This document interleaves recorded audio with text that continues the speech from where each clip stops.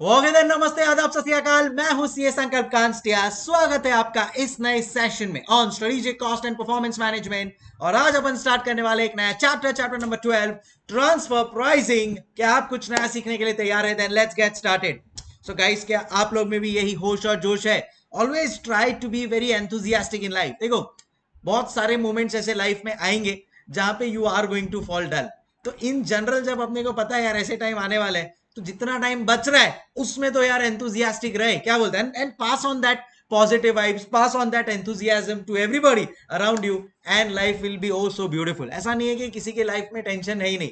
सबकी लाइफ में equal tension है। आपको मेरे को देख लगेगा, अरे, सर के पास तो बहुत पैसा है, सर के पास तो ये है, वो है, सर को कोई टेंशन नहीं है। सबके अपने अपने शेयर ऑफ़ टेंशन है। बट उसी में यार when you can smile and keep those things at bay that is where you know life will be beautiful so मेरा तो यही फंड है कि यू नो हँसते रहो, मुस्कुराते रहो things will fall in place so चलो भाई फिलोसफी के सेशन के साथ आगे बढ़ते हैं। एस सी पी एम के ट्रांसफ़र प्राइजिंग सेशन के ऊपर, ठीक है? कमॉन यार, जोश चाहिए स्माइल चाहिए ऑलवेज मतलब खाली लेक्चर के टाइम पे नहीं. In general whenever you meet someone whenever you are there with someone show your full enthusiasm किसी ने कुछ अच्छा किया है आपके लिए एंश्योर दैट आप उसको अप्रिशिएट करें. वैसे भी लाइफ में अप्रिशिएट करने वाले लोग बहुत कम होते हैं. तो अगर आपने एक छोटा सा अप्रिसिएशन भी दे दिया है no timely it it helps a lot कोई मुझे भी अप्रिशिएट करता है, आ, हा हा हा मतलब वो दिन मेरा एकदम ही अच्छा चले जाता है. मतलब कोई भी मैं कहीं पे भी डाउन हूँ बट अगर कभी स्टूडेंट्स का मैसेज आ जाता है sir enjoying the lectures a lot अच्छा लग रहा है लेक्चर सुन के, या फिर कभी और से, कभी किसी, कभी पेरेंट्स से या किसी से भी कुछ भी अप्रिसिएशन मिल जाए, मैं तो बोल रहा हूँ ना, सातवें आसान में चढ़ जाता हूँ। Same can be the case with other person also so कभी आपको भी ये मौका मिले then in that case don't leave that opportunity to appreciate to give a positive thing to somebody बोलते हैं ना, लोग खींचने के लिए, नीचे उतारने के लिए नेगेटिव करने के लिए तो लोग है ही। क्यों ना अपन इस चीज़ को यूज़ करें that let's let's bring positivity smile on somebody's face by our smile आपका अगर वाइब पॉजिटिव रहेगा ना in any situation whatsoever it will definitely pass on to others and make a big big difference ठीक है? Grumpy या, बोलते ना, मुँह फुला के तो कोई भी रह सकता है। बट चीज़ों को साइड पे रख के एक एक सकारात्मक सोच रख के पॉजिटिव दृष्टिकोण रख के if if you can move on in life nothing beats that because जो होना है वो तो होना ही है। तो पॉजिटिवली एक्सेप्ट करके आगे बढ़ते हैं ना यार। ट्रांसफ़र प्राइसिंग पे आगे बढ़ते हैं अभी। सर हो गया हो आपका। बाबा की जय हो, ऐसा बोल दो मेरे को। चलो, अब चलते हैं ट्रांसफ़र प्राइसिंग के ऊपर। और ये जो चेहरे की स्माइल है, ये जो आँखों का नूर है that is for this chapter because this is one of my favourite chapters बहुत अच्छा चैप्टर है ये। एग्ज़ाम में डेफिनेटली तुम लोग समझ के ले लो कि एग्ज़ाम में केस स्टडी आने वाला है इसका यार। लिख के ले लो मेरे से। कह के लूँगा। तो let's do it in the best manner possible ठीक है? और एक चीज़, कोई चीज़ कर रहे हो ना तो उसको पूरी शिद्दत से करना। Hundred percent to hundred percent उसमें घुस के करना। जब आप मूवी देख रहे हो तो फिर आप पढ़ाई के बारे में नहीं सोचते। तो जब आप पढ़ाई कर रहे हो तो फिर मूवी या इधर उधर के बारे में क्यों सोचते हो? गलत बात गलत बात। So when you are here be here ठीक है ना? I usually I try to keep the lectures के भाई, चल उतना हो कि समझ में आ गया एंड लेवल पे रहे।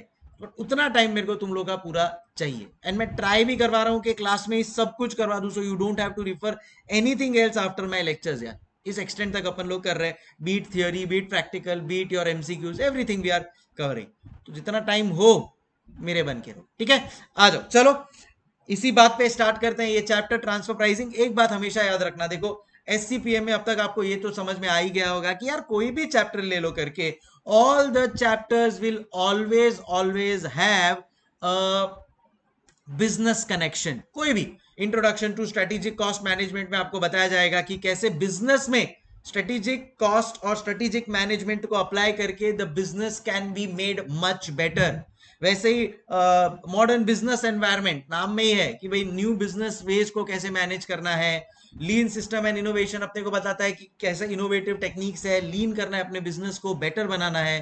कॉस्ट मैनेजमेंट टेक्निक कोई भी strategic revenue management strategic profit management जो भी चैप्टर लोगे आप will always have a business connect and this chapter also starts with that business connect itself, yes मैं आपको सबसे पहले एक बेसिक क्वेश्चन पूछता हूँ। जहाँ पे भी आप बैठे हो मेरे को आंसर देना I will get the vibe that I want and the question is boss अगर आप बिज़नेस कर रहे हो तो क्यों कर रहे हो एक तो आंसर मुझे पता है you can say that to solve a greater purpose like say I am also into a business I am also earning a good amount of profit. My intention was to provide good level of coaching, especially at chartered accountancy level, conceptual level of coaching and uh, बोलते ना एक connect करना था मुझे practical world से students को. That's the reason I came into this whole thing but उसके अलावा चलो ये तो एक ऐसा मैंने बोला फिलोसॉफिकल बात हुआ. उसके अलावा सबका एंड इंटेंशन बिज़नेस का क्या होता है? करेक्ट अपना सपना money money are you clear everybody obviously sir so business करना है तो सबसे इंपॉर्टेंट चीज़ है मेरे लिए कि मैं इस बिज़नेस में क्या अर्न करना चाहता हूँ नेट प्रॉफिट मुनाफा till the time I am not getting profit I will not believe that my business is successful so I want hardcore profit for my business अब मैं आपको सेकेंड क्वेश्चन इसी से कनेक्टेड पूछता हूँ। ये प्रॉफिट आता कैफ़े है? What is profit according to you एकदम ले मैन लैंग्वेज में मैं आपको बताऊँ ना तो प्रॉफिट कुछ नहीं है। It is nothing but sales minus total cost simple जितना आपने यूनिट सेल किया है और वो यूनिट्स सेल करके रेवेन्यू आया। उसमें से जितने आपके टोटल खर्चे हुए वो माइनस कर दो। जो बच गया, वो है आपका मुनाफा। जो बच गया that is your net profit am I right guys if yes then in that case समझ लो, अपने को एक किक स्टार्ट मिल गया है ट्रांसफ़र प्राइसिंग के लिए। क्योंकि बिज़नेस से मैंने कनेक्ट किया नेट प्रॉफिट प्रॉफिट से मैंने जोड़ा सेल्स माइनस कॉस्ट को। अब ये जो सेल्स है ना इसी में छुपा है आज का ये चैप्टर ट्रांसफ़र प्राइसिंग तो कैसा सेल्स, कौन सा सेल्स? वो अब मैं आप लोगों को दो मिनट में बताने वाला हूँ, क्योंकि सेल्स में भी है ना दो प्रकार होते हैं। एक होता है इंटरनल सेल्स एक होता है एक्सटर्नल सेल्स एक्सटर्नल सेल्स को फ़िलहाल बाजू में रख दो। आज बात होने वाली है इंटरनल सेल्स की, और इंटरनल सेल्स से ही कनेक्टेड है ये पूरा चैप्टर ट्रांसफ़र प्राइसिंग सर, ये इंटरनल सेल्स क्या होता है?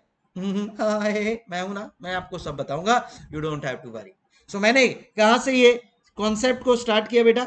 मैंने आप लोग को बोला कि यार कोई भी चैप्टर अपना है ना end of the day connected है बिज़नेस के साथ। ब्रेड पकोड़े की कसम किसके साथ कनेक्टेड है? बिज़नेस के साथ कनेक्टेड है। बिज़नेस अगर मैं कर रहा हूँ ना पब्लिक बिज़नेस अगर मैं कर रहा हूँ ना public then in that case यार मेरा इंटेंशन है कि मैं प्रॉफिट कमाऊं। ढेर सारा प्रॉफिट कमाओ, यानी मुनाफा। मुनाफा नहीं, मुनाफा। बता देगी नहीं? बहुत सारा मुनाफा कमाओ। अच्छा अगर मैं आपको पूछ रहा हूँ what is net profit in a simple language हाँ? सिंपल बच्चों की लैंग्वेज में मुझे बता दो, क्या होगा net profit it is nothing but sales minus total cost in fact मैं आपको बोलता हूँ कि अगर कोई भी आप इंटरमीडिएट का सीए का या सी डब्ल्यू ए का आईसीडब्ल्यू ए का, कोई भी बुक ओपन करो इंटरमीडिएट का और उसका फ़र्स्ट चैप्टर खोलो। Introduction to cost management accounting वो आपको बोलेगा, ascertainment of selling price is one of their objective ascertainment of cost is their second objective yes मतलब एक चार्टर्ड अकाउंटेंट का रोल ही है, काम ही है, क्या? ऑब्जेक्टिव ही है। Of C A C W A to ascertain क्या? To ascertain selling price and cost कोई भी, मैं आपको गारंटी देके बोलता हूँ, कोई भी इंटर का बुक ओपन कर लो, भले वो थियोरी है, तुम लोग ने इग्नोर किया होगा अपने टाइम पे।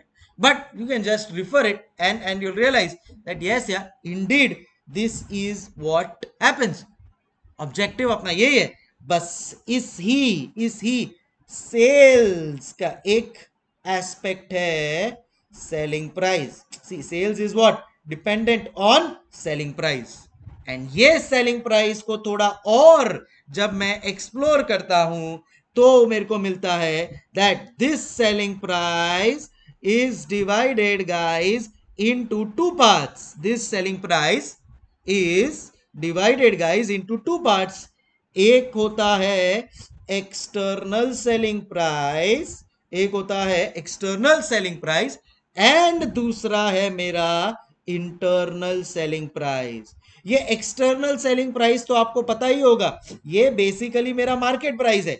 अगर मैं ये पेन बना रहा हूँ और ये पेन को मार्केट में बेचने को गया that is my external price that is my market price तो फिर अब आपके दिमाग में चल रहा है, सर तो फिर ये इंटरनल सेलिंग प्राइस क्या है?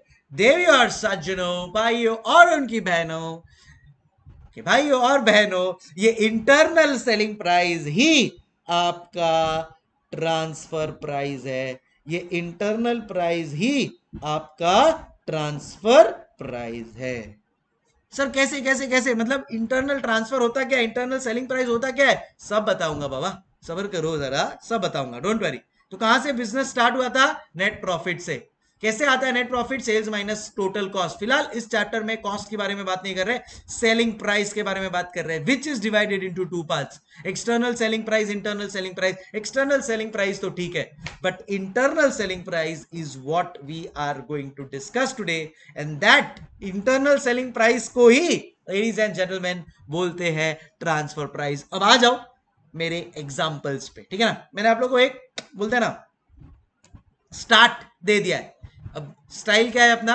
We will always connect the start with the example तो अब मैं आ रहा हूँ आप लोगों के साथ एक एग्ज़ाम्पल लेके और उस एग्ज़ाम्पल से पूरा आप लोग को कॉन्सेप्ट ऑफ़ ट्रांसफ़र प्राइसिंग दिमाग में घुसा दूँगा in the next ten minutes let's begin तो यार मैं तुम्हारे को यह समझाऊँगा एक एग्ज़ाम्पल के थ्रू एग्ज़ाम्पल लेते हैं अपन लोग अपने फेवरेट एक ब्रांड का इंडिया का favourite brand Amul the taste of India अपन लोग सब लोग ने सुना है स्पेशली जिसने भी मास्टर शेफ जीता है देखा है आई I मीन mean, उसने तो एटलीस्ट ये वाला ब्रांड सुना ही राइट अमूल अमूल क्या क्या सेल करता है? मुझे बताओ क्या क्या चीज़ें सेल करता है अमूल तो कहना इसे सबसे प्रायोरिटी तो अमूल है भाई मिल्क बराबर है?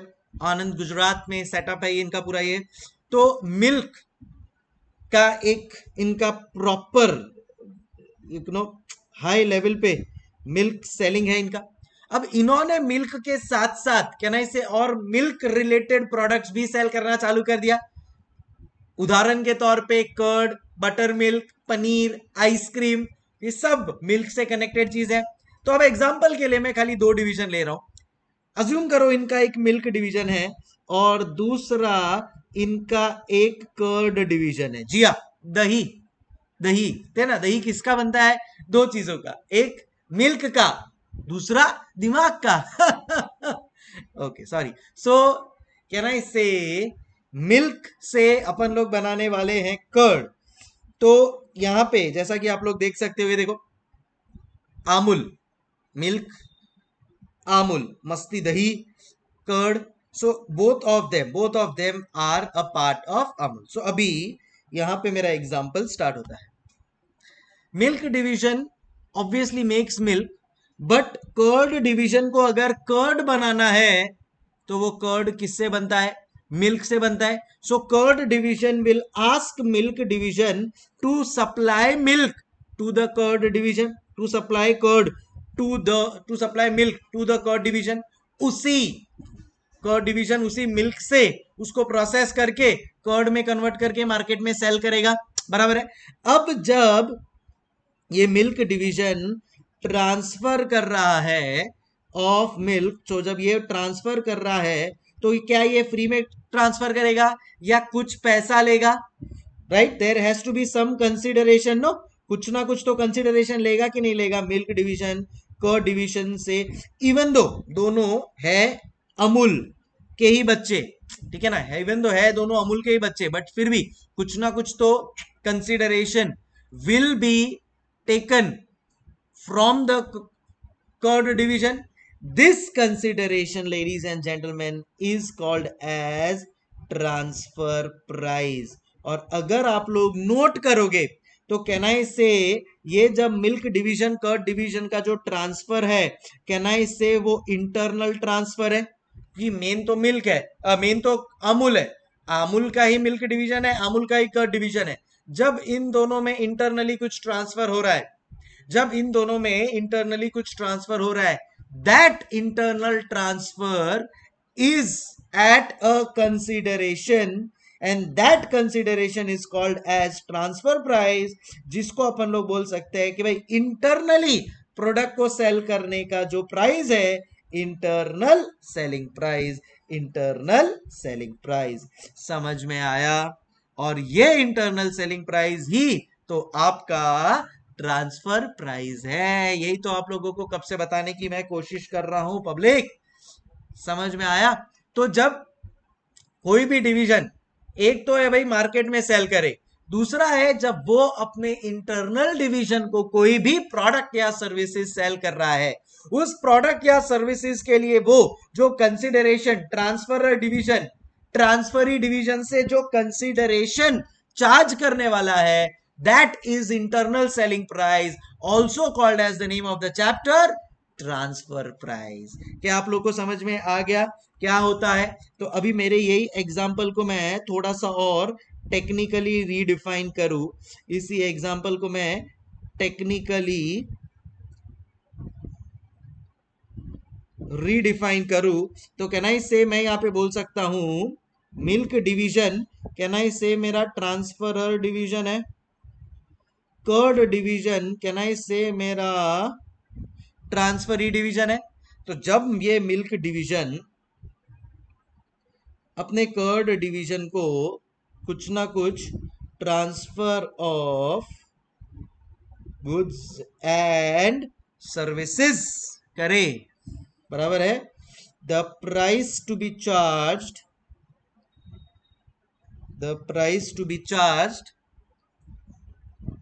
from transferer to transferee is internal price बराबर है। Also called as ladies and gentlemen also called as transfer price. Also called as transfer price. Hey समझ गए everybody clear? सब लोग को समझ में आ गया? ठीक है? सो so, क्या मैं बोल सकता हूँ? Price to be charge price charge between internal division is called as the transfer price और ट्रांसफ़र डिवीज़न समझ में आ गया? मिल्क अपने केस में मिल्क डिवीज़न ट्रांसफ़र डिवीज़न है। कर्ड डिवीज़न ट्रांसफरी डिवीज़न है, जिसको वो मिल्क मिल रहा है करेक्ट सो लास्ट रीडिफाइन अगर मेरे को करना है तो मैं बोलूँगा बॉस ट्रांसफ़र प्राइस क्या है? आखिर ट्रांसफ़र प्राइस क्या है? ट्रांसफ़र प्राइस है ट्रांसफरर और ट्रांसफरी ये दो लोग हैं। इन दोनों के बीच में जब किसी भी तरह का गुड्स और सर्विसेज़ का ट्रांसफ़र हो रहा है right price charge hello price charge between internal departments for internal transfer is called as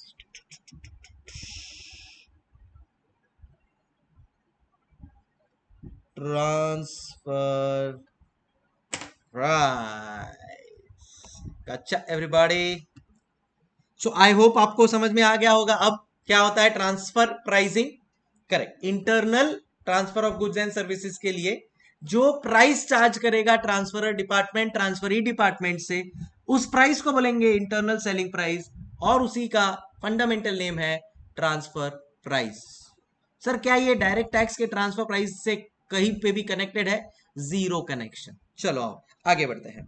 अब अपन लोग लेते हैं कुछ एग्जांपल्स अब अपन लेते हैं कुछ examples so what are going to be these examples मतलब एग्जांपल ही दिया था तुम लोग को, खाली उसको लिख लेते हैं। से फॉर एग्ज़ाम्पल अपना जो ट्रांसफ़र डिवीज़न है, आमूल वाले एग्ज़ाम्पल में, और ट्रांसफ़र ही। है तुम लोग एक बार क्लियर हो गए हो ना, क्या है ट्रांसफ़र और क्या है ट्रांसफ़र इसके लिए मैं लिखवा रहा हूँ अब से फॉर एग्ज़ाम्पल अपना ये है बिग फोर्स है केपीएमजी का एग्ज़ाम्पल केपीएमजी में बहुत सारे बतेरे बतेरे बहुत सारे डिपार्टमेंट्स है. एम राइट अब इसमें ऐसा समझो कि दो डिपार्टमेंट है, जैसे कि stat audit department income tax department stat audit department को इनकम टैक्स डिपार्टमेंट की ज़रूरत है फॉर एग्ज़ाम्पल तो क्या होगा? Stat audit department income tax department को बोलेगा a KPMG income tax department please मेरे को थोड़ा तेरे से हेल्प चाहिए। Uh, मेरे को तेरे टोटल 25 फाइव आवर्स चाहिए और मेरे को इस इस चीज़ के बारे में कंसल्टेशन चाहिए। इनकम टैक्स डिपार्टमेंट केपीएमजी का बोलेगा okay I will give you 25 five hours and this will be the price stat audit is the transferee department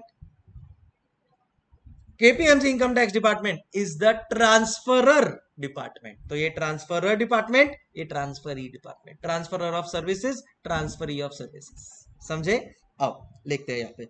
so transferor अपने आमुल वाले केस में था मिल्क डिवीज़न ट्रांसफरी था मेरा कर्ड डिवीज़न फिर, और एक एग्ज़ाम इसी को मैं चलो कंटिन्यू करता हूँ. तो curd division and buttermilk division buttermilk division और एक एग्जांपल लेता हूँ मैं. केपीएमजी टैक्स वाला डिवीज़न ट्रांसफरर और केपीएमजी का ही स्टैट ऑडिट डिवीज़न ट्रांसफरी यार इतने एग्ज़ाम्पल चाहिए। समझ में आ गया ना? चलो, अब समझ में तो आ गया ट्रांसफ़र प्राइस क्या होता है? समझ में तो आ गया ट्रांसफ़र प्राइस क्या होता है? अब क्यों ये ट्रांसफ़र प्राइस के लिए पूरा एक चैप्टर बना है? क्या इसके पीछे का हिस्ट्री है? मैं तुम लोग को एक एक चीज़ प्रॉपरली बताऊँगा। बिकॉज़ फिर जब मैं एक्चुअल उसका कैलकुलेशंस पे आऊँगा ना तो ये हिस्ट्री अगर तुम लोग को पता होगा ना, एकदम इजीली आप लोग को चीज़ें समझ में आ जाएँगी। So now since we have understood कि भाई ट्रांसफ़र कौन है? ट्रांसफ़र ही कौन है? और ट्रांसफ़र प्राइस क्या है? कैसे उसको कैलकुलेट करना है? एंड क्या इसके पीछे का लॉजिक है?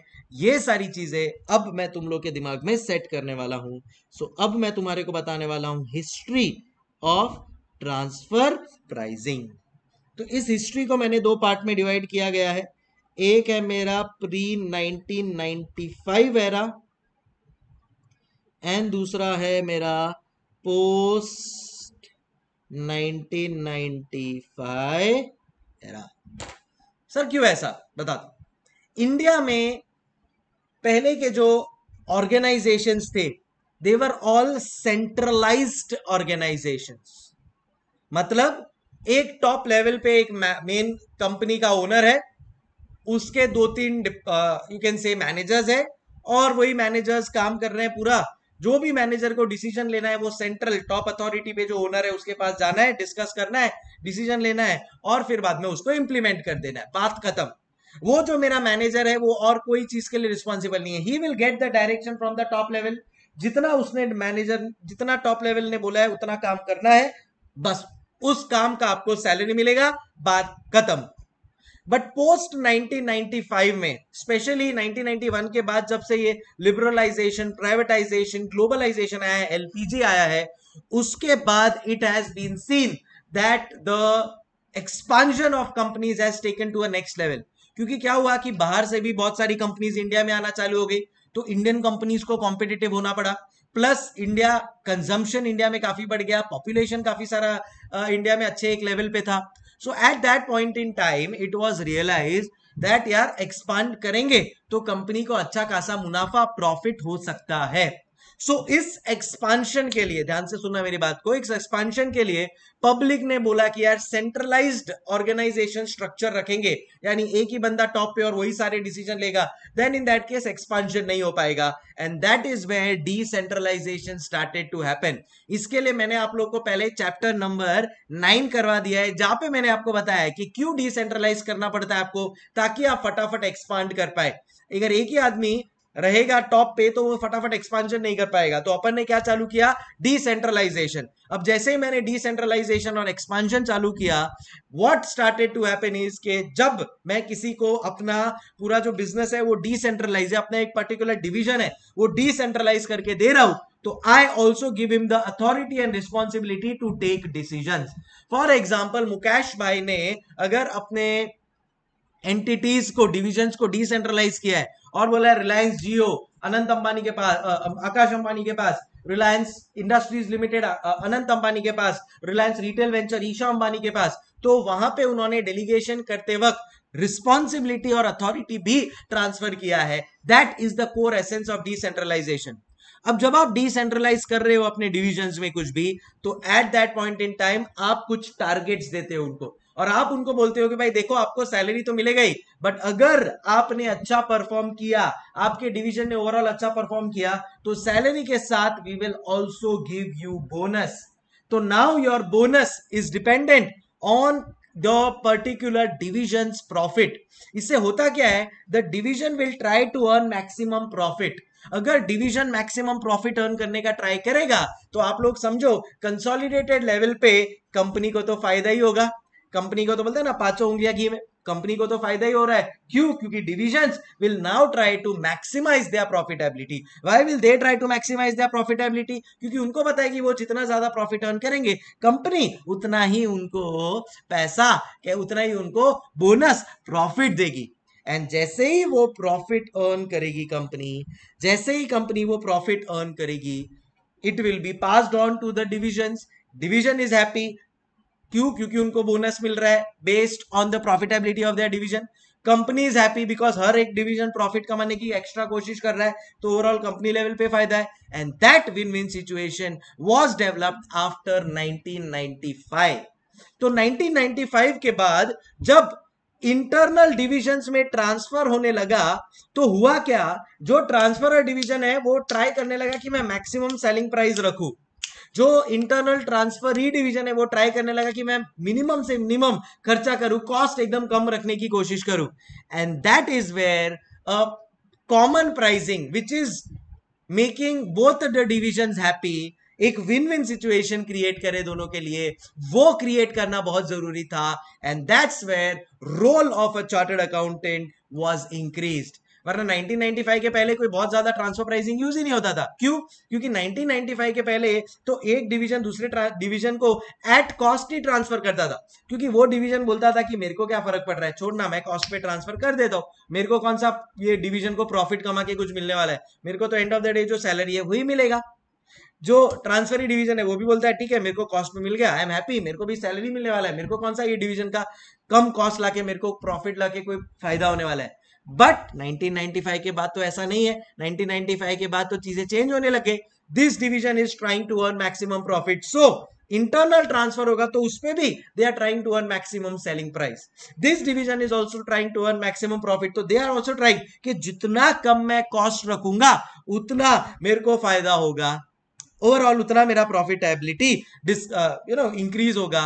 And this combination hello this combination led to the development of the concept called as internal pricing between the departments called as transfer price called as transfer price and फिर बस ये कहानी और नेक्स्ट लेवल पे ले गई और अब मैं तुम लोग को यही चीज़ सिखाने वाला हूँ क्या समझ में आया तुम लोग को क्या लॉजिक था ये चैप्टर इंट्रोड्यूस करने का because now all division are profit centres They are responsible for their profits.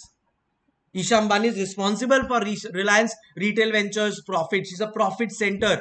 तो प्रॉफिट सेंटर हुआ तो आप ट्राई करोगे कि बॉस तो अभी फॉर एग्जांपल टाटा मोट टाटा सन्स है टाटा सन्स एकदम मेन कंपनी है होल्डिंग कंपनी है उसका ही फिर सब्सिडी निकला है क्या Tata Motors Tata steel Tata power Tata chemicals TCS Tata Consultancy Services उसमें जब टाटा मोटर को स्टील चाहिए तो it will take from Tata Steel तो जब ये टाटा स्टील ट्रांसफ़र करता है it is internal transfer what price Tata Steel will charge पहले के टाइम पे होता होगा कि भाई चलो एट कॉस्ट बेच दिया।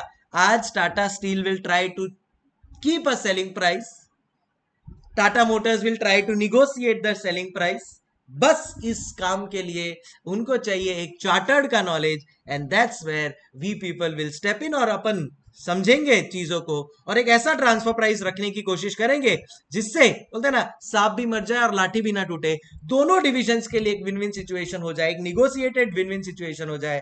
And the work is done at the best level समझू आप लोगों बेस लॉजिक समझ में आया इस चैप्टर का? चलो, अभी तुम लोगों को लिखवा देता हूँ so that when you revise you will realise that okay ये इसके पीछे का लॉजिक था। तो मैं तो बोलता हूँ प्री 1995 एरा में can I say divisions were basically cost centric divisions यार? As such divisions were cost centric divisions but post 1995 क्या हुआ? ये सारे डिविजन्स हो गए प्रॉफिट सेंट्रिक क्योंकि अब मेरा सेंट्रलाइजेशन से डिसेंट्रलाइज्ड लेवल पे बात हो रही है। सेंट्रलाइज्ड लेवल से अब अपन आ गए हैं डिसेंट्रलाइज्ड लेवल पे। आर वी अंडरस्टैंडिंग सो पहले क्या था? Centralised system of organisation where where where decision making hello where decision making किसके पास था? At top authority decision making at top level so उससे होता क्या था? उससे प्रॉब्लम क्या हुआ? ये हुआ कि, ये कि internal transfer at cost so no limited scope of CA internal transfer at cost ही हो रहा है तो सीए क्या करेगा?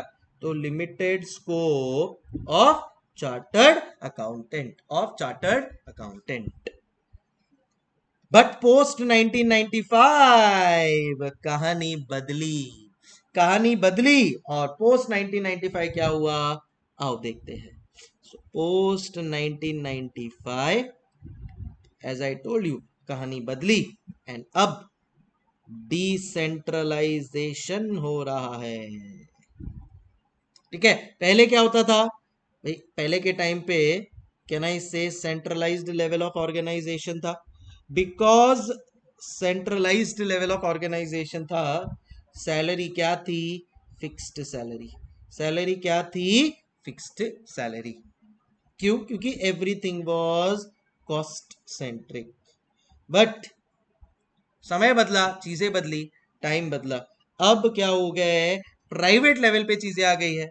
चीज़ें डिसेंट्रलाइज्ड और प्रॉफिट सेंट्रिक हो गई है। और इसकी वजह से अब डिवीज़न को क्या मिलता है? आपको सैलरी तो मिलने ही वाला है। उसी के साथ साथ now you are also wanting for profit you are also wanting for bonus और इसी के लिए अब मैं क्या करूँगा?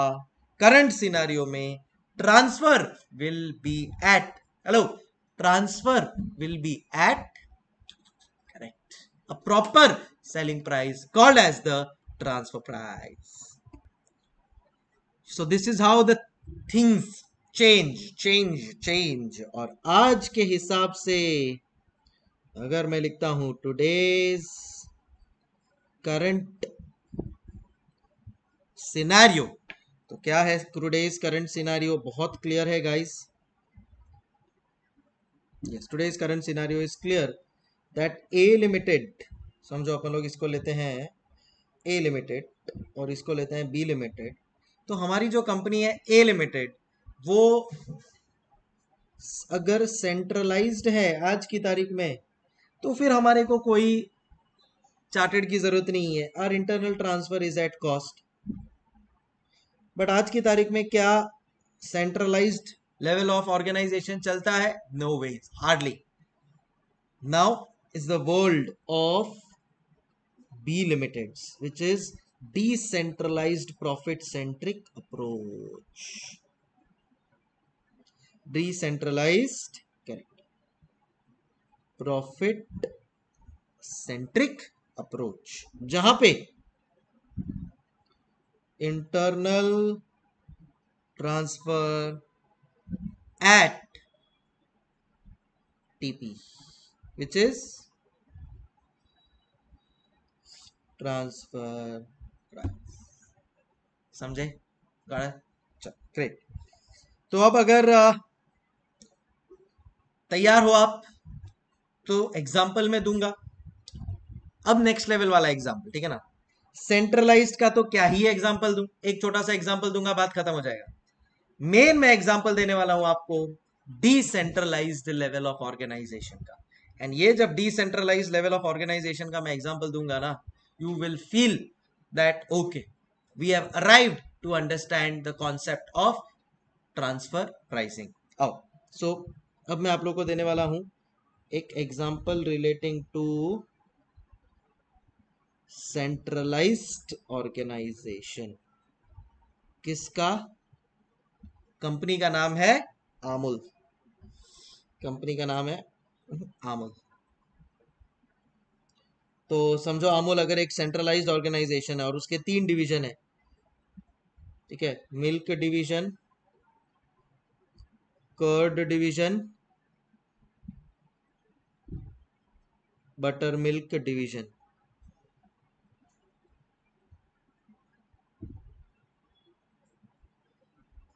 and ये है आपके पार्टिकुलर्स ठीक है? Now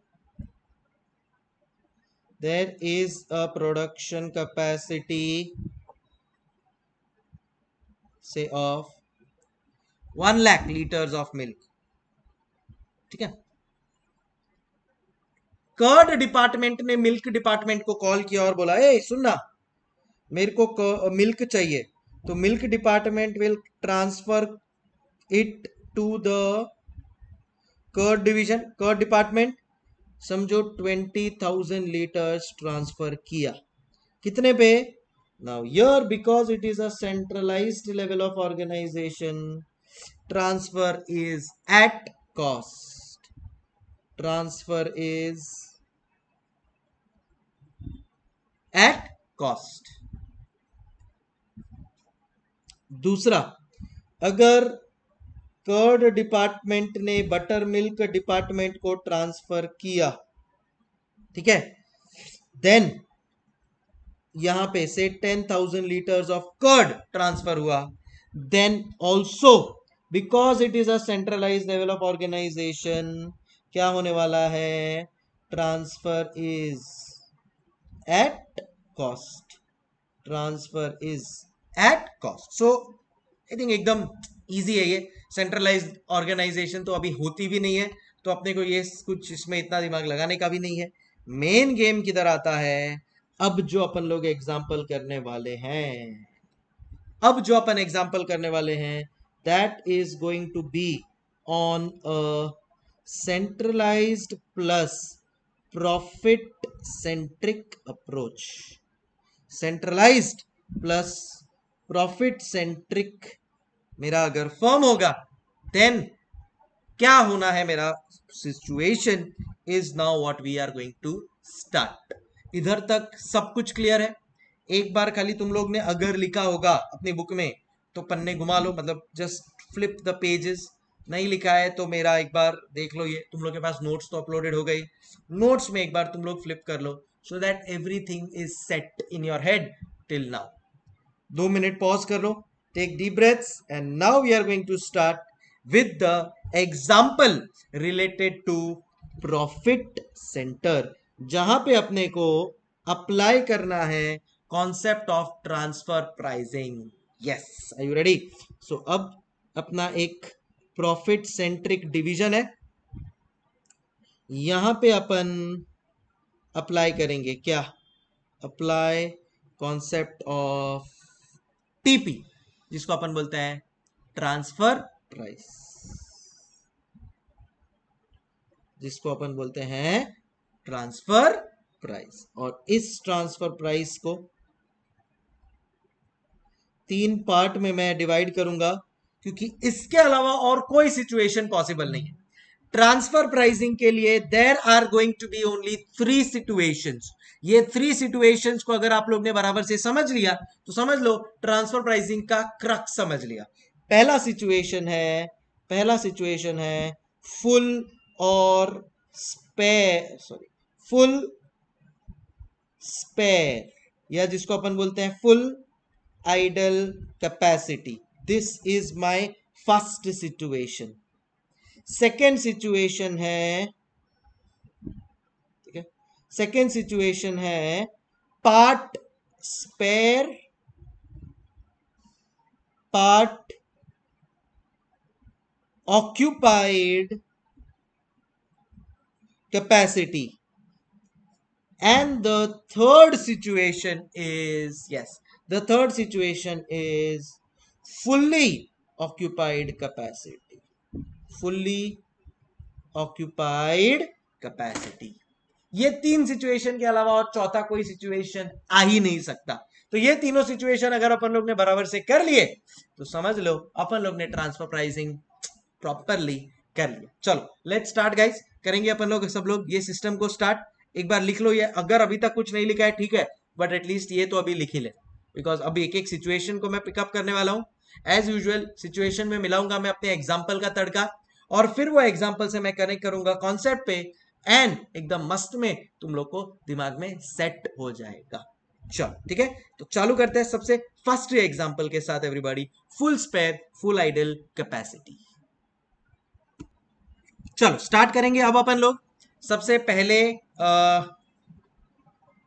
केस के साथ and that is full spare capacity so first case one spare का मतलब समझते हैं ना? आइडल खाली पड़ा रहना। फुल स्पेयर जिसको बोलते हैं आइडल कैपेसिटी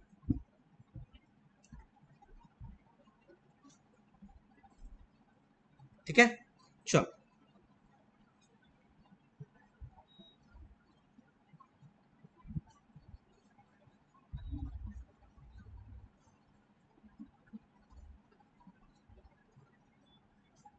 पहला है मेरा अमूल मिल्क डिवीज़न।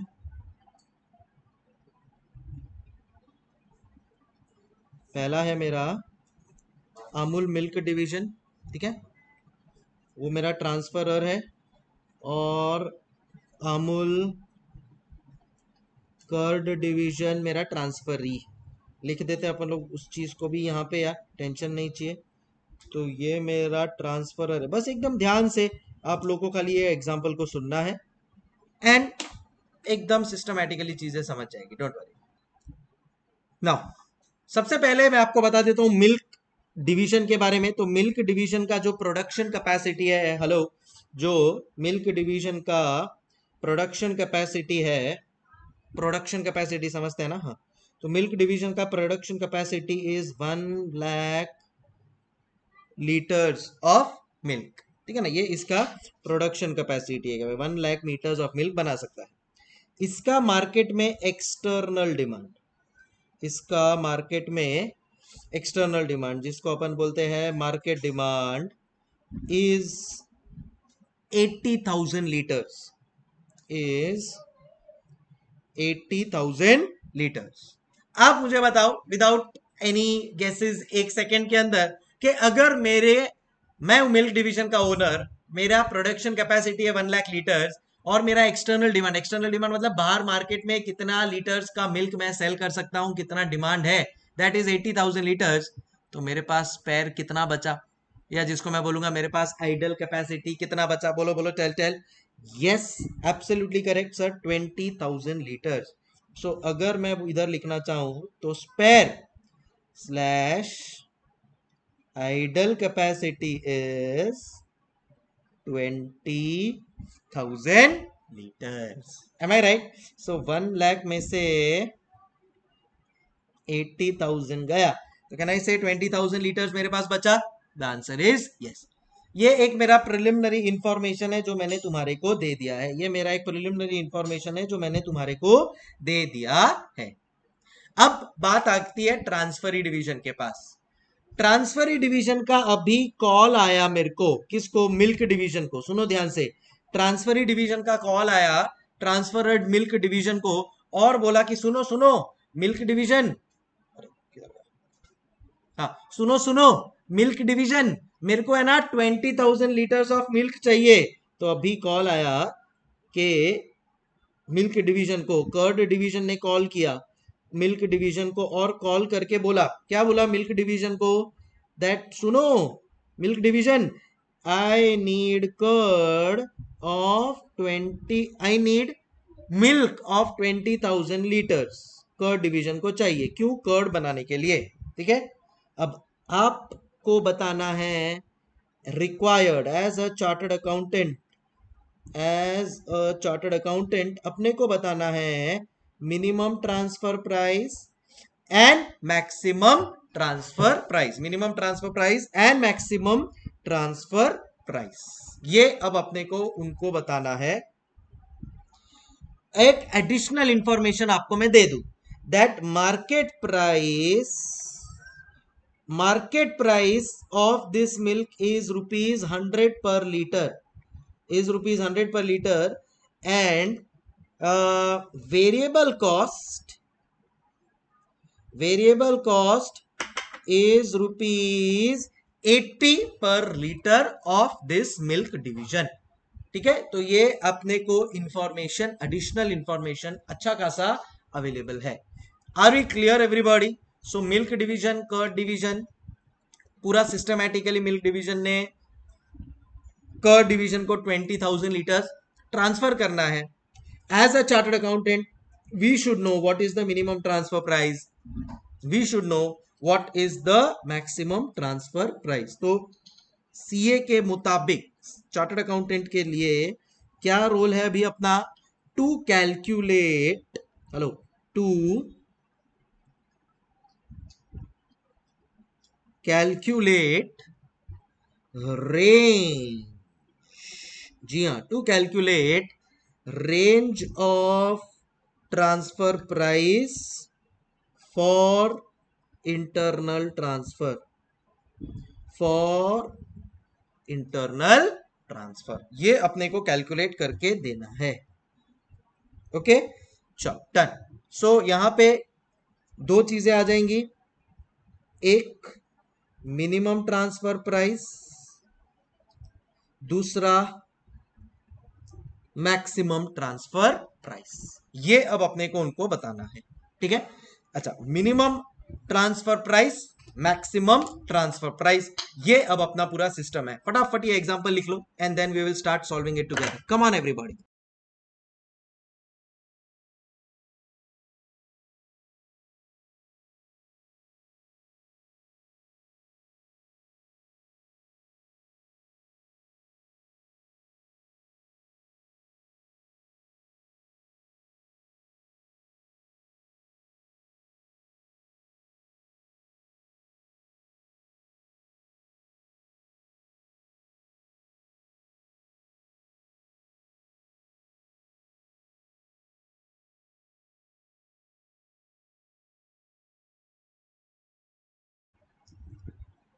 अब मेरे को है ना, आप लोगों का लॉजिक्स एकदम ओपन चाहिए। प्योर प्योर लॉजिक्स के ऊपर मैं तुम लोग को ये डिराइव करके बताऊँगा कैसे कैलकुलेट करते हैं मिनिमम ट्रांसफ़र प्राइस लॉजिकली सोचो, आप ट्रांसफ़र डिवीज़न हो मिल्क डिपार्टमेंट के, ठीक है?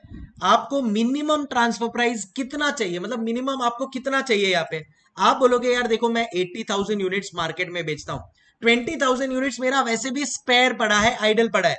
मैं तो उसको कहीं पे यूज़ ही नहीं कर रहा हूँ। अगर मेरे को इंटरनल डिवीज़न से कॉल नहीं आएगा तो मैं ये ट्वेंटी थाउज़ेंड बनाऊँगा भी नहीं, क्योंकि मेरे लिए तो ये स्पेयर कैपेसिटी है। तो अब मिनिमम मेरे को कितना चाहिए यहाँ पे? कहना इसे मेरे को वेरिएबल कॉस्ट रिकवर करवा के दे दो?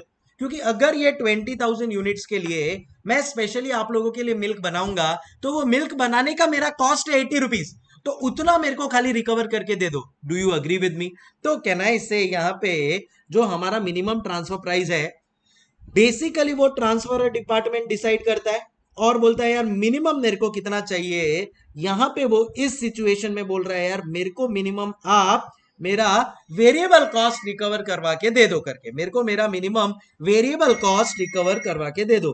So can I say it will be recovery of variable cost यार? वेरिएबल कॉस्ट रिकवरी ऑफ़ भाई मेरे को, यार मिनिमम मैं नहीं बोल रहा हूँ, यही प्राइस हो गया अपना फाइनल मिनिमम मेरे को इतना रिकवर करके चाहिए. क्वेश्चन में क्या पूछा है, देखो जरा. वो अपने को खाली फ़िलहाल मिनिमम ट्रांसफ़र प्राइस बोल रहा है. तो मिनिमम मेरे को इतना चाहिए ही चाहिए. तो कहना इसे यहाँ पे ट्रांसफ़र प्राइस मिनिमम लेवल पे अगर मैं देखूँ तो variable cost which is nothing but 80 per litre तो 80 हो जाएगा. अगर मेरे को तुम्हारे फ्यूचर रेफरेंस के लिए एक एक्सप्लेनेशन के तौर पे अगर रखना है इसको तो कहना इसे for me the minimum transfer price will be क्या हो जाएगा ये minimum transfer price can I say it is the hello it is the it is the minimum recovery. एक second it is the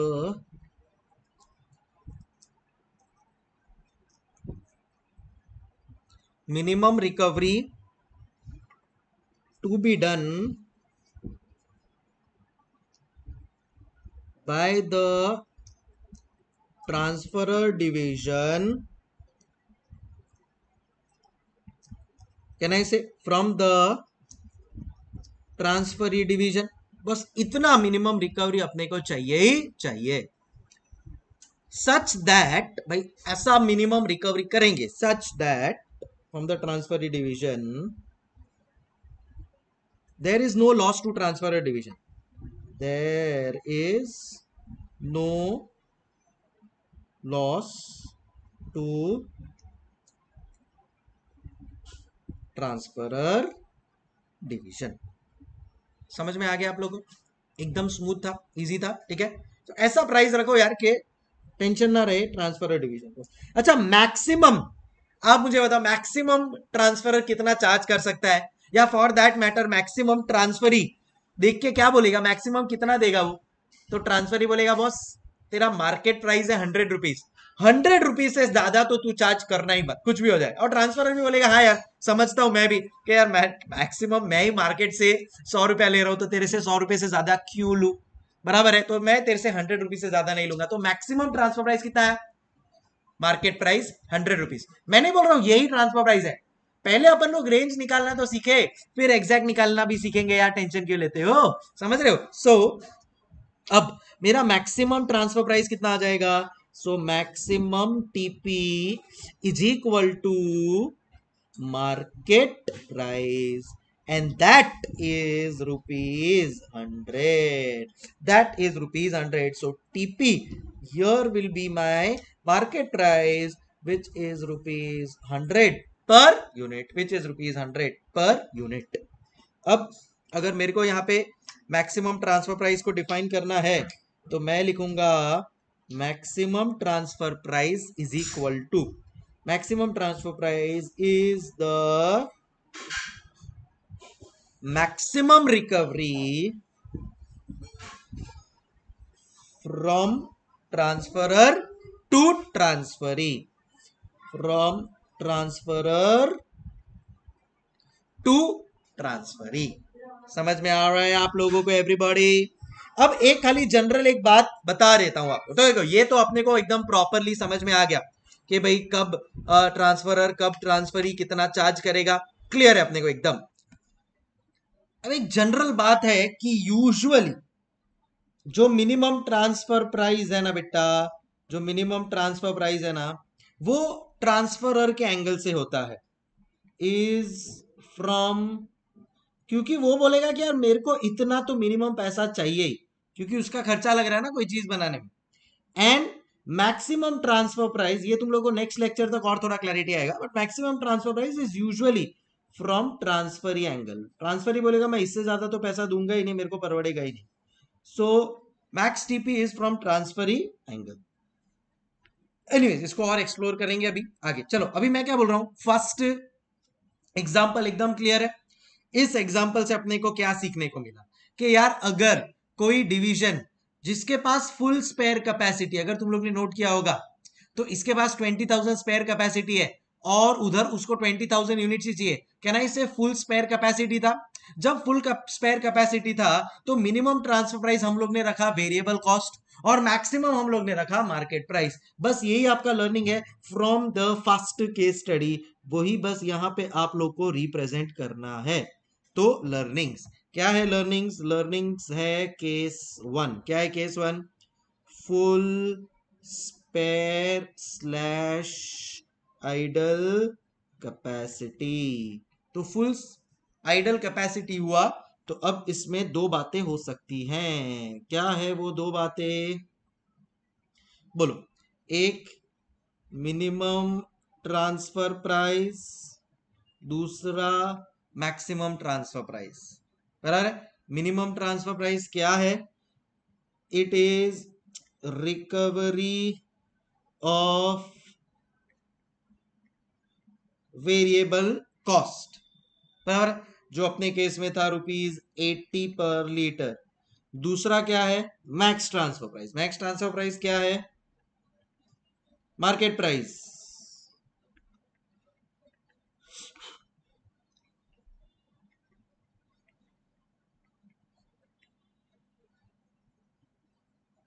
which is rupees hundred per litre all is well इधर तक.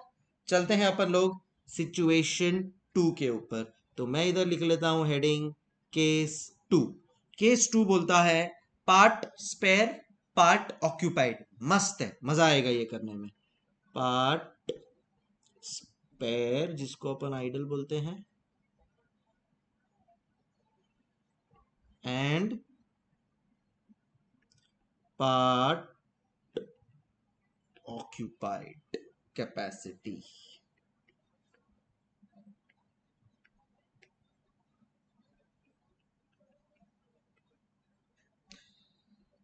चलो। Same example पहले दूँगा और फिर बाद में एग्ज़ाम्पल को टेक फॉरवर्ड अपन लोग करेंगे डोंट वरी सो पहला है मेरा मिल्क डिवीज़न दूसरा है मेरा कर्ड डिवीज़न मिल्क डिवीज़न क्या बोलता है?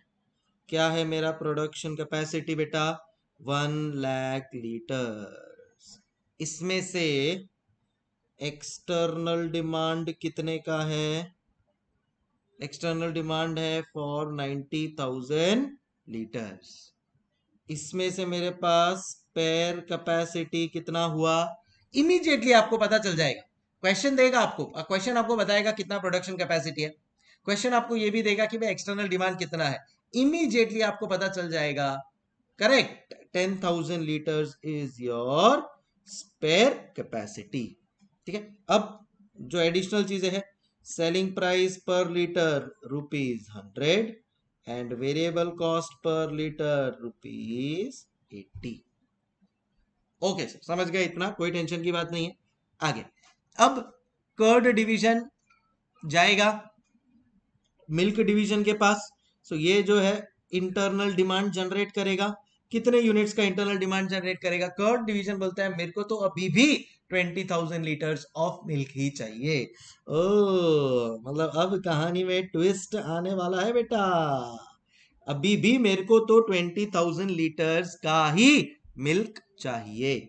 अब इसमें से अपन बोलेंगे, भाई देख टेन थाउज़ेंड लीटर्स तो उसके पास स्पेयर पड़ा है, वो ये वाला टेन थाउज़ेंड लीटर्स तेरे को दे देगा। उसके पास उतना तो आइडल या स्पेयर है। गेम किस चीज़ का होगा? करे बाकी का जो टेन थाउज़ेंड लीटर्स है ना, वो ऑक्यूपाइड कैपेसिटी है। यानी वो अगर टेन थाउज़ेंड तो चलो, जो स्पेयर वाला है, वो तो कर्ड डिवीज़न को दे दिया करके।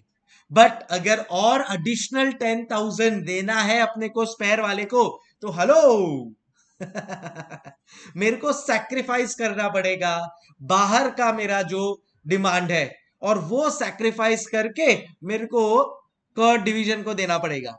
बराबर है? अब मैं हूँ एक प्रॉफिट सेंटर डिवीज़न अगर मैं बाहर का मेरा कोई डिमांड सैक्रिफाइस कर रहा हूँ तो मैं वो सेक्रीफाइस करके मेरे इंटरनल डिविजन को देने को रेडी हूँ। कोई प्रॉब्लम नहीं है, मैं इंटरनल डिविजन को दूँगा बट उसको मैं क्या बोलूँगा? भाई, ये जो टेन थाउज़ेंड लीटर्स है जो मैं सेक्रीफाइस करके दे रहा हूँ उसके लिए मेरे को जो मार्केट से मिलता है, उतना तू दे दे। बस। मैं प्रॉफिट सेंट्रिक डिवीज़न हूँ एंड ऑफ़ द डे हाँ ये टेन थाउज़ेंड लीटर्स मेरा वैसे भी खाली पड़ा था। तो वो जो खाली पड़ा था, उसके लिए तेरे से खाली वेरिएबल कॉस्ट रिकवर किया। बट जो बाहर का टेन थाउज़ेंड मैं सेक्रीफाइस करके दे रहा हूँ, उसका तो मेरे को पूरा पैसा चाहिए ना यार। मैं भी इधर यार, मेरा टीम लेके बैठा हूँ, मेरा डिवीज़न लेके बैठा हूँ। वो लोग को भी बोनस चाहिए यार। सो समझ रहे समझ रहे ना आप लोग यार? एकदम मतलब कायदे की बात है यार। धंधा लेके बैठा है यार। बराबर है अम्मी कहती थी क्या कि धंधे से बड़ा कोई धर्म नहीं। हाँ so that is where it becomes important for us to ensure के वो जो टेन थाउज़ेंड लीटर्स है, जो सैक्रिफाइस करके दिया जा रहा है, उसके ऊपर आप पूरा मार्केट प्राइस लेंगे। टेन थाउज़ेंड जो आपके पास स्पेयर है, उसके लिए अपन वेरिएबल कॉस्ट ले लेंगे। कोई प्रॉब्लम नहीं है। बस इसी एक्सप्लेनेशन को थोड़ा सा मैं आप लोगों को प्रॉपरली लिख के बताता हूँ। आप लोगों को भी कॉन्फिडेंस आ जाएगा। आप लोगों को भी कॉन्फिडेंस आ जाएगा। तो यहाँ पे मैं लिख रहा हूँ minimum TP minimum transfer price मैं बोलता हूँ कि बॉस इंटरनल डिमांड है मेरा ट्वेंटी थाउज़ेंड यूनिट्स का। हेलो इंटरनल डिमांड है मेरा ट्वेंटी थाउज़ेंड यूनिट्स का। इस ट्वेंटी थाउज़ेंड यूनिट्स में से, इस ट्वेंटी थाउज़ेंड यूनिट्स में से मेरे पास कुछ स्पेयर है, जिसको अपन बोल सकते हैं आइडल और कुछ ऑक्यूपाइड है। जो मेरे पास स्पेयर पड़ा है ना टेन थाउज़ेंड लीटर्स जो मेरे पास स्पेयर पड़ा है ना टेन थाउज़ेंड लीटर्स वो तो मैं चलो आपको वेरिएबल कॉस्ट पे दे सकता हूँ। वो तो चलो मैं आपको वेरिएबल कॉस्ट पे दे सकता हूँ which is rupees eighty per litre तो कितना हुआ? चलो, उसके लिए मैंने आपसे लिया रुपीज़ एट लाख अपन याद रखना मिनिमम ट्रांसफ़र प्राइस फाइंड करेंगे मिनिमम इसके ऊपर एट्टी रुपीज़ तो चाहिए. बट जो ऑक्यूपाइड है ना बॉस वो मैं सेक्रीफाइस कर रहा हूँ मेरी एक्सटर्नल डिमांड को. So I am sacrificing my external demand I am sacrificing my external demand. तो ये आ जाएगा at the rate market price which is rupees hundred per litre so ten जो ये टेन थाउज़ेंड लीटर्स है मेरा, वो मेरा जाएगा at the rate hundred per litre पे। वो जाएगा मेरा ten thousand litre hundred per litre के हिसाब से। F for a simple reason that yes यहाँ पे मैं सेक्रीफाइस कर रहा हूँ। तो टोटल मैं बोलूँगा डिवीज़न वाई को सुन भाई अठारह लाख रुपए दे दे। अच्छा वो बोलेगा अठारह लाख कितने लीटर्स के लिए? सो so, यहाँ पे अपन लोग कैलकुलेट कर लेंगे minimum transfer price we will say 18 lakhs divide by 20,000 litres equal to rupees 90 per liter. Equal to rupees 90 per liter. क्या बात है। समझा लॉजिकली कोई डाउट आई होप ना हो हो तो मुझे पूछ लेना अलग से, बता दूँगा don't have to worry at all वाह क्या लर्निंग मिला अपने को यहाँ से यार? लिख के बताना है भाई, ऐसे नहीं छोड़ेंगे। क्या लर्निंग मिला है आपको? That was minimum transfer price that boss minimum transfer price कितना होगा? कौन से सिचुएशन में? पार्ट स्पेयर पार्ट ऑक्यूपाई ठीक है? ये सिचुएशन में part spare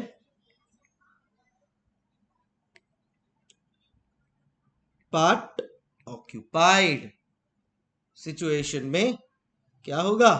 सो so, अपन बोलेंगे जो स्पेयर यूनिट्स है वो at the rate variable cost भाई वो at the rate variable cost में गए ना? तो वो at the rate variable cost per unit पे।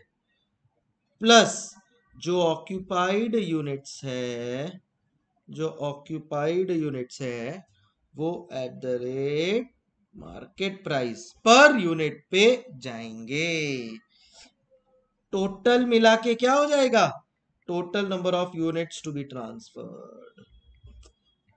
Total number of units to be transferred. And that becomes your average, yeah, you can say minimum transfer price. Minimum transfer price.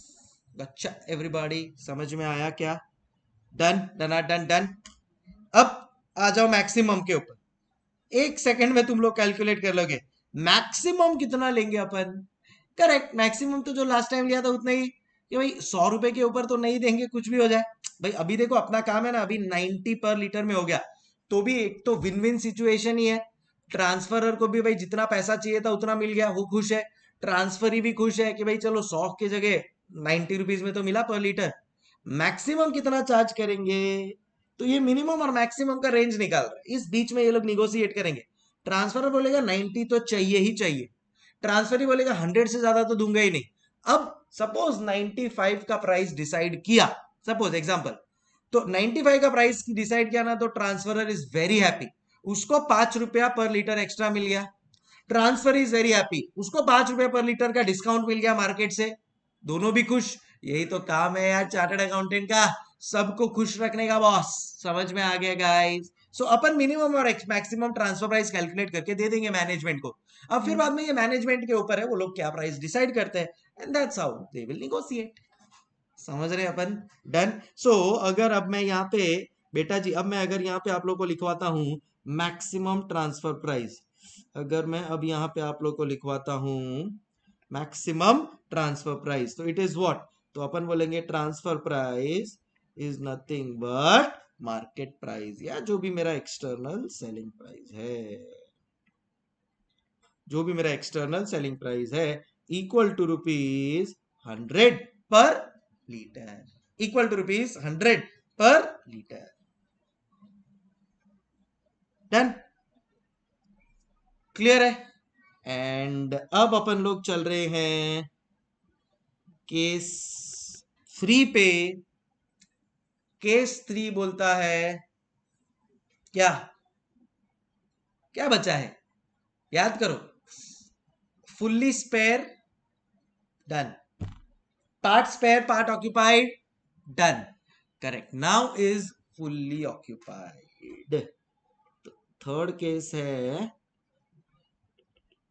Fully occupied या जिसको अपन बोलते हैं zero spare zero spare यहाँ पे देखो क्या पोजीशन है मेरा? सो so, एक है मिल्क दूसरा है कर्ड। पोजीशन तो अपन लोग सेम ही रखने वाले हैं यार। प्रोडक्शन कैपेसिटी, यही प्रोडक्शन कैपेसिटी, यही एक्सटर्नल डिमांड। आओ कॉपी कर लेते हैं।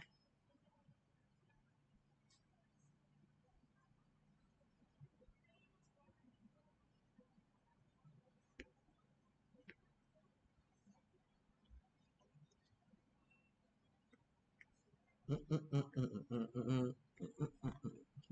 प्रोडक्शन कैपेसिटी आ गया एक्सटर्नल डिमांड का आ गया। अब मेरे पास इस सिचुएशन में क्या स्पेयर कैपेसिटी बचा? ज़ीरो कितना बचा? Zero selling price market price अभी भी है हंड्रेड का। वेरिएबल कॉस्ट अभी भी है एटी का। ठीक है? अच्छा कर्ड डिपार्टमेंट का क्या सीन है? एज यूजुअल कॉल आएगा। और बोलेगा, हेलो, मिल्क डिपार्टमेंट, जरा दूध चाहिए था। कितना दूध चाहिए? ट्वेंटी थाउज़ेंड लीटर ओ हो हो। हो अब मिल्क डिपार्टमेंट बोलेगा, यार, सॉरी यार, देख, मेरे पास स्पेयर कैपेसिटी नहीं है। कर्ड डिपार्टमेंट लग रहा अपन दोनों तो भाई भाई है यार। अपने तो माता पिता मिल, अमूल अमूल है, अमूल। तू तो मेरे को यार कॉस्ट पे दे दे। मिल डिपार्टमेंट बोलेगा देख, भाई भाई है। पर मैं प्रॉफिट सेंटर हूँ ना यार, और मेरा तो पूरा माल मार्केट में बिक रहा है यार। कैसे तेरे को दे दू मैं इतने सस्ते में? सुनना देख, मैं तेरे को देने के लिए रेडी हूँ, पर बाहर जितने में बिक रहा है, उतना तू भी मुझे दे देना यार। तो मैं तेरे को दे दूँगा। क्या फ़र्क पड़ रहा है? पक्का?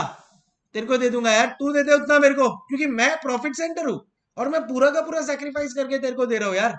मुझे भी तो जवाब देना है अपने, जो बाकी के एम्प्लॉयज़ है मेरे डिवीज़न के यार। समझना? तू तो समझ सकता है, तू भी प्रॉफिट सेंटर है।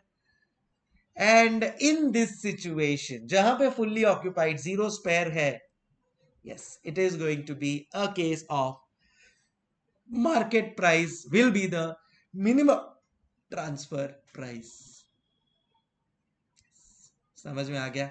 आओ, लिखते so range of transfer price तुम लोग खुद ही समझ गए होगे ना अभी तो क्या आंसर आने वाला है? सो स्मार्ट सो सी ये अपन लोग इजीली कर पाए क्योंकि एग्ज़ाम्पल अपने पास रेडी था। एग्ज़ाम्पल को अपन लोग कनेक्ट किया। एग्ज़ाम्पल को समझ गए ना things become very manageable trust me on this so minimum transfer price और मैक्सिमम ट्रांसफ़र प्राइस ठीक है? अब